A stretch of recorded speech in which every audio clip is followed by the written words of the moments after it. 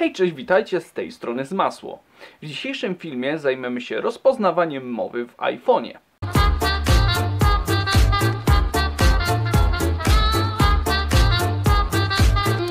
E, Może niektórzy z Was zauważyli, że w iPhone'ach, gdy piszecie jakąś wiadomość albo po prostu gdy używacie klawiatury, tam w tym dolnym rogu obok spacji gości taki malutki przycisk ze znaczkiem mikrofonu.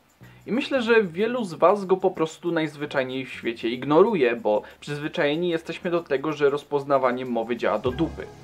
Czy jednak może przez ostatni czas coś się zmieniło w tej kwestii? Przekonajmy się. E, tak więc dzisiaj do naszych super Uber testów posłuży mi iPhone SE z funkcją rozpoznawania mowy. E, mamy tutaj, e, macie tutaj podgląd e, na mój ekran cały czas. E, jak widzicie jestem w aplikacji do notatek i spróbujmy o coś go zapytać albo po prostu coś powiedzieć, więc e, siema, siema, siema, siema, mówię coś bardzo fajnego. jak widzicie, nie popełni nawet żadnego błędu. Oczywiście to jest dość taka prosta rzecz. Powiedzmy coś bardziej złożonego, co powiedzmy na klawiaturze zajęłoby nam dużo czasu do napisania. Kurde, ale dzisiaj miałem przewalony dzień. Normalnie jestem taki padnięty. Dobrze, że kawa mi uratowała życie. No jak widzicie, troszeczkę zajęło nam to szybciej niż napisanie na klawiaturze, chyba że ktoś z Was naprawdę szybko pisze. E, Niemniej jednak ja często korzystam z tego rozwiązania, gdy mam komuś napi do napisania jakąś troszeczkę dłuższą wiadomość, a jestem w domu i nie muszę się obawiać, że w przestrzeni publicznej ktoś będzie na mnie patrzył jak na wariata. Spróbujmy coś trudniejszego. Na przykład, kurde, te własnościowe sterowniki od AMD nie działają na Gentu.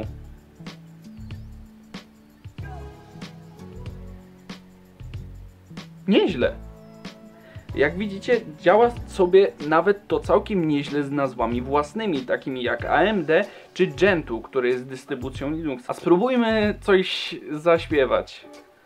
Wlazł kotek na płotek i mruga.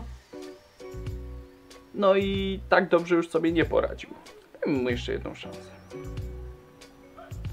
Wlazł kotek na płotek i mruga. Dziad jeden daje radę.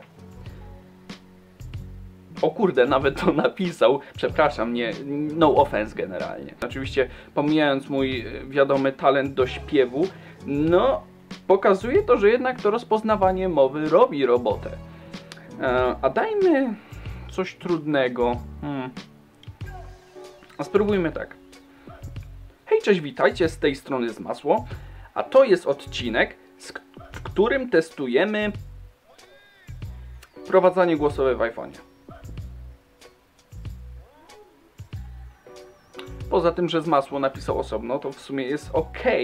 Poza tym, że też się zaciąłem. Oczywiście te zacięcia musimy mieć na uwadze, że jeżeli chcemy coś podyktować telefonowi, to raczej nie możemy się zacinać, bo on wtedy głupieje. Mm, Zapytacie, jak jest ze znakami interpunkcyjnymi. No całkiem spoko, jeżeli na przykład Siema, chcesz wyjść gdzieś na obiad? Znak zapytania. No i wstawia znak zapytania. Generalnie działa to całkiem spoko, nawet radzi sobie z takimi jak przykładowo XD. Kurde, ale kappa XD. No jak widzicie, działa to całkiem nieźle. Teraz go puszczę jeszcze na wolny obieg, jak ja będę wam mówił pożegnanie i zobaczymy ile razy się pomyli. Tak więc moi drodzy, jak widzicie, rozpoznawanie głosowe w telefonie działa naprawdę nieźle. Jeżeli macie zajęte czymś ręce albo macie dużą wiadomość do napisania i wiecie, że się nie pomylicie, przynajmniej wtedy jak mówicie, to telefon całkiem zgrabnie powinien Wam tą wiadomość przetłumaczyć do tekstu, co jest naprawdę wygodne, kiedy chcemy napisać dłuższą wiadomość. Czy właśnie powiedziałem dwa razy to samo? Pytajnik. E, Słuchajcie, to tyle w tym krótkim odcinku. Mam nadzieję, że troszeczkę jesteście podobnie jak i ja pozytywnie zdziwieni tym, jak dobrze ostatnio telefony radzą sobie z rozpoznawaniem naszego głosu i konwertowaniem go na tekst.